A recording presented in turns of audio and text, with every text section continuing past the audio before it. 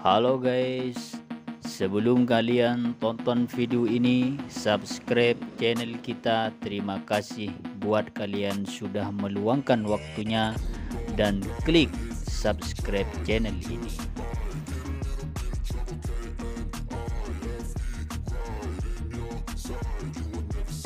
Mengenal lebih jauh sosok Adinda Indah, pevoli cantik Indonesia yang ternyata pernah main sinetron hingga kini menjadi reporter olahraga. Indonesia banyak melahirkan pevoli-pevoli berbakat, baik di kategori putra maupun di kategori putri di setiap generasinya.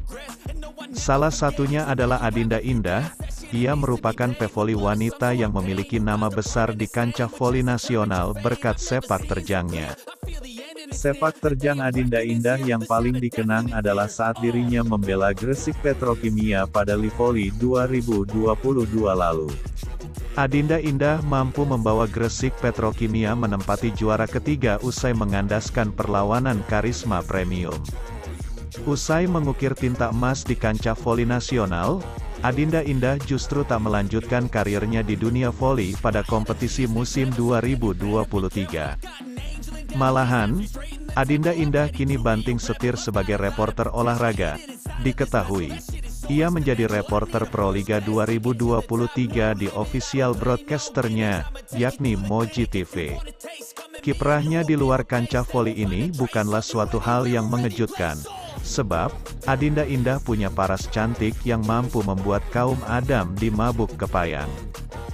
Bahkan berkat paras cantiknya itu, Adinda Indah diketahui pernah tampil di suatu FTV dan juga sempat main sinetron, yakni Preman Pensiun.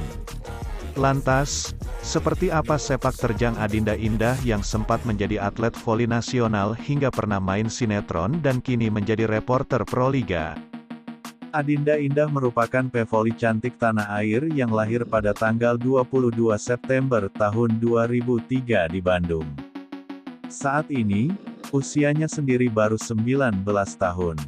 Kiprahnya di dunia voli tak lepas dari peran kedua orang tuanya, diketahui, Kedua orang tuanya merupakan mantan atlet voli.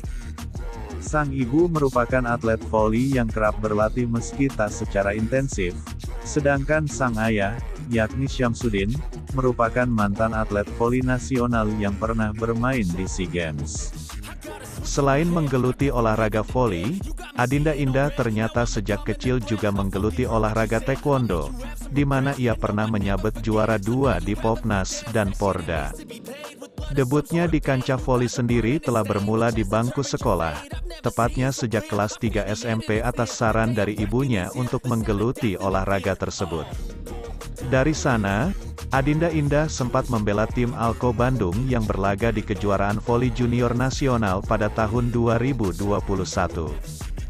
Setelahnya, Adinda Indah pun bergabung Gresik Petrokimia, dan dirinya sempat bermain di ajang Porprov Jabar 14 dengan membela Kabupaten Bekasi dan membela Jawa Barat di Kejurnas Voli Junio 2022 hingga menjadi juara.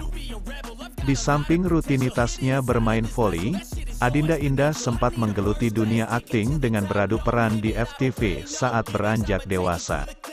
Selain itu, Adinda Indah juga punya kemampuan bermusik yang mumpuni, di mana ia menguasai alat musik seperti piano, gitar, hingga drum. Berkat paras cantiknya, Adinda Indah pun kini menjadi salah seorang selebgram di media sosial Instagram dengan jumlah pengikut sebanyak 350 ribu. Kini Adinda Indah telah banting setir dan menggeluti dunia jurnalistik dengan menjadi reporter untuk official broadcaster Proliga pada 2023 lalu. Hingga saat ini, Adinda Indah kerap membagikan aktivitasnya sehari-hari di media sosial lewat akun @adindaindah garis bawah 09, termasuk kenangan-kenangannya saat masih bergelut di dunia voli. Adinda Indah awalnya tak mau jadi atlet voli Adinda Indah muda nyatanya tak menggemari olahraga voli. Alih-alih voli, Adinda Indah justru tertarik dengan olahraga basket. Sebelum serius dengan voli, Adinda Indah sempat menjajal olahraga lain seperti basket, renang dan taekwondo. Namun sang ibu yang membawanya terjun ke dunia voli. Adinda Indah bahkan masuk ke SMA dengan jalur prestasi dari olahraga voli. Adinda Indah boleh absen dari gelaran tertinggi kompetisi voli di Indonesia. Namun bukan berarti Adinda Indah tidak menjaga kondisi tubuhnya. Selagi menantikan musim baru dan menerima pinangan klub baru, Adinda Indah sering kali menjaga kondisi fisik dengan olahraga teratur.